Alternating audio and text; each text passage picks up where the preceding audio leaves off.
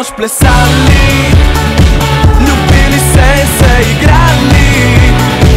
Kot da nas jutri več ne bo.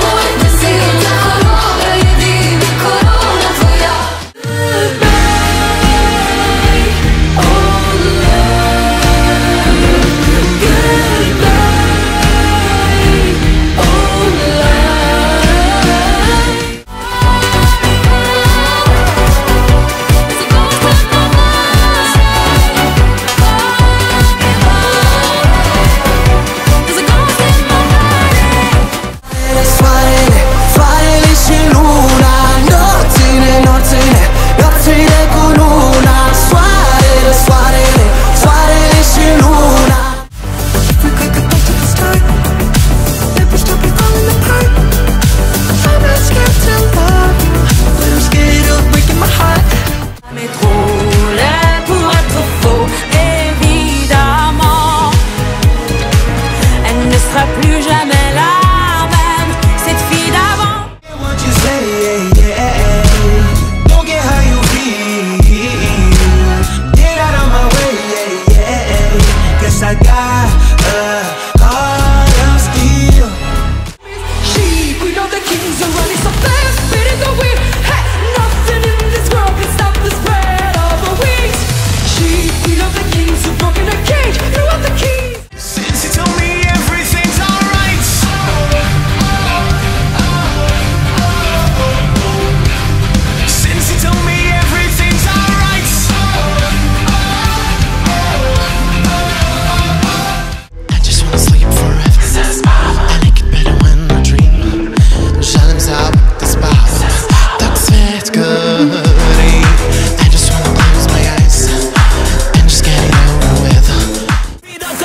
Kaksikkieni juomista niinku